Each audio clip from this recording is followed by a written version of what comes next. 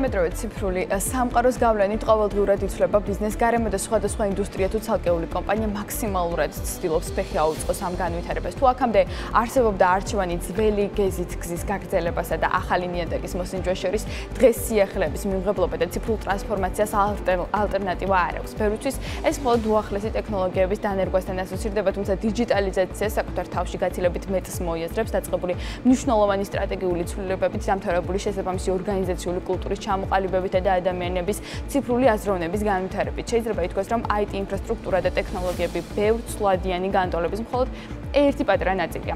ორგანიზაციის ციფრული ტრანსფორმაცია მნიშვნელოვნად არის დამოკიდებული თანამშრომლებზე, მათ მიდგომაზე, ბიზნეს ამოცანების მიმართ და იმაზე, თუ სად ეძებენ პრობლემის გადაჭრის გზებს.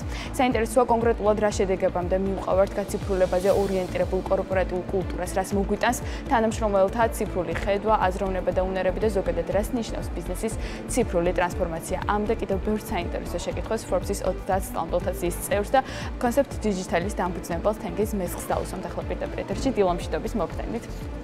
თენგიზ მიხარია რომ პირველად ხართ ჩვენ სტუდიაში და მინდა რომ დავიწყოთ ტექ ბაზრის შეფასებით საქართველოში. როგორ ფიქრობთ, რა გამოწვევების წინაშეა, რა მიმართულებით უნდა განვითარდეს და ვიცი რომ ძალიან ბევრ ბევრი მიმართულებით ხართ ჩართული რომ ეს ინდუსტრია წინ წავიდეს ქვეყანაში. გამარჯობა, მადლობა მოწვევისთვის. პირველ რიგში ვიტყოდი რომ თქოთ მაპატიეთ ჩემი დამტრეული ქართული. ბრიტანეთში დავიბადე და გავიზარდე და ახლა არ არის პრობლემა.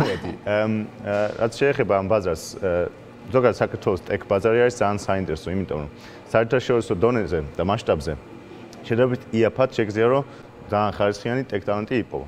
თუმცა ეს მოთხოვნა სტრაფად იზრდება ამ ბოლო დროს მithumetes EPAM-ის შემოსვლით და art-ის შემოსვლით, ასე ნიშნავს რომ ეს ფასები ძალიან გაიზარდა და ბევრ თუ ფურთული არის დეველოპერების პოვნა. იმასაც ვიტყვი რომ მაგდან გამომდინარე ერთი შედეგი არის რომ ეხლა ბევრი დეველოპერს უკვე ერთზე მეტი სამსახური აქვს და ეს უკვე თითქმის ჩვეულებრივი ამბავი არის და მაგდან გამომდინარე რთული არის რომ კაი კადრები ვიპოვო ვისაც შეიძლება ანუ რეალურად რამდენად არის ბაზარზე IT მიმართულებით და ტექ სფეროში კვალიფიციური კადრების ნაკლებობის პრობლემა და რამდენად არის შესაძლებელი ქვეყანაში ხარისხიანი განათლების მიღება ამ მიმართულებით? კი ბატონო ნამდვილად არსებობს ეს სირთულე ეს ჩემპიონატ გამოცდილებიდან საქართველოს ბანკში რო ვიყავი როგორც IT დირექტორის მოადგილე ძალიან კაფეოთ ჩანდა და ეს კვალიფიცირების კადრების პოვნა არის ერთი ერთ-ერთი რთული ნაწილი თვითონ რომ დამსაქმებელი იყო. მეორე მხარეს არის განხლების ნაკლებობა და უფრო მეტი გჭირდება რომ გავგოთ ამ ამ მიმართულებით, მაგიტომ ახლა ერთი წამოწყება არის Digital Institute კი ბატონო, ამაზეც უნდა მეკითხა, თქვენ ვიცი რომ ეხმარებით ადამიანებს ხარისხიანი განათლების მიღებაში, რას გულისხმობს ეს პროექტი და თუ არის დაინტერესება ახალგაზრდების და ზოგადად ადამიანების? კი, კი, დიდი დიდი დაინტერესება არის ამ მიმართულებით, რადგან უკვე ჩანს ახალგაზრდებისთვის რომ ეს არის ძალიან ეს წარმატებული სფერო და ზრდადი სფერო, ტექ სფერო. და ჩვენ ახლა გვინდათ რომ ვასწავლოთ სხვადასხვა კურსები. ერთი რომ 0-დან რომ basic-ი გახდე და basic-დან რომ უკვე junior developer-ი გახდე და ვინაიდან არის საჭირო რომ ეს მოთხოვნა რომ შევასწოთ, ზუსტად მაგიდან დავიწყეთ ეს წამო. თანგის რა არის საჭირო იმისათვის რომ ამ სფეროში იყოს ადამიანი წარმატებული? რას უნდა აკმაყოფილებდეს, რომ ითვლებოდეს რომ ის კვალიფიციური კადრია? ძალიან კაი კითხვა არის. ერთი მხარეს არის ჩვეულებრივი თანამშრომლისთვის რაც არის საჭირო დისციპლინას კონდეს და შრომის უნარიანი იყოს ეგ ჩვეულებრივი ნებისმიერ თანამშრომელს სჭირდება მეორე მხარეს არის ეს ტექ მხარეს რაც არის სამი რეალური ნაწილი შედის. აქ პირველი რომ კოდის წერა შეეძლოს კარგად.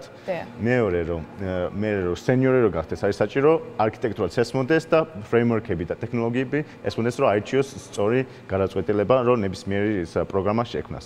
და მესამე არის ეს problem solving approach რასაც ქვია ეგრეთ წოდებულ რომ შეეძლოს პრობლემები პრობლემები აღიქვას და კლიენტის და მომხმარებლის ნიდებზე იყოს მოგებული ეს რასაც შექმნის.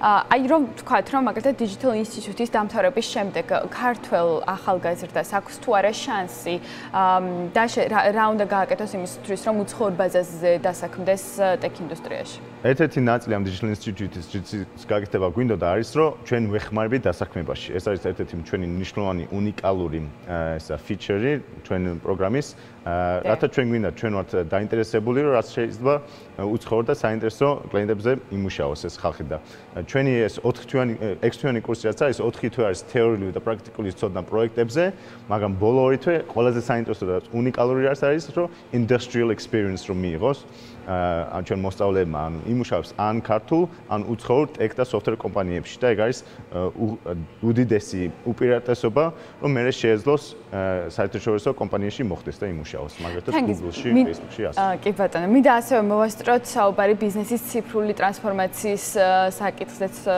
რომ გავამახვილოთ. ყურადღება, რატომ არის ასეთი მნიშვნელოვანი დღეს თანამედროვე ტექნოლოგიების სამყაროში რომ განმარტოთ უფრო კონკრეტულად. კი ბატონო, ზოგადად ციფრული ტრანსფორმაცია არის, რომ ბიზნესებმა გამოიყენოს თანამედროვე ციფრული ტექნოლოგიები, რათა გაუმჯობესონ პროცესები და უფრო სწრაფად, უფრო მოკნილად, უფრო და უფრო სანდოდ მიაწოდონ ღირებულება თავიანთ კლიენტებს. დე.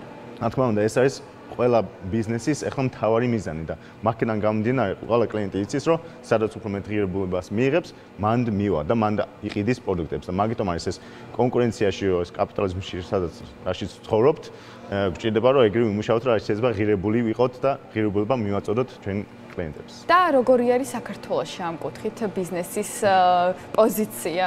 სიმართლე გითხრათ მგონი კაი დიდი მანძილი გვაქვს გასავლელი თუმცა ვიტყოდი რომ ერთ სფეროში საკმაოდ ძლიერი ვართ ამ digitalization-ის მხარეს და ეგ არის ჩვენთვის banking sector-ი, იმიტომ რომ მაგალითად საქართველოს ბანკის M ბანკი ბევრად უფრო წინ არის ვიდრე ჩვეულებრივი ტრადიციული ბრიტანული ბანკის.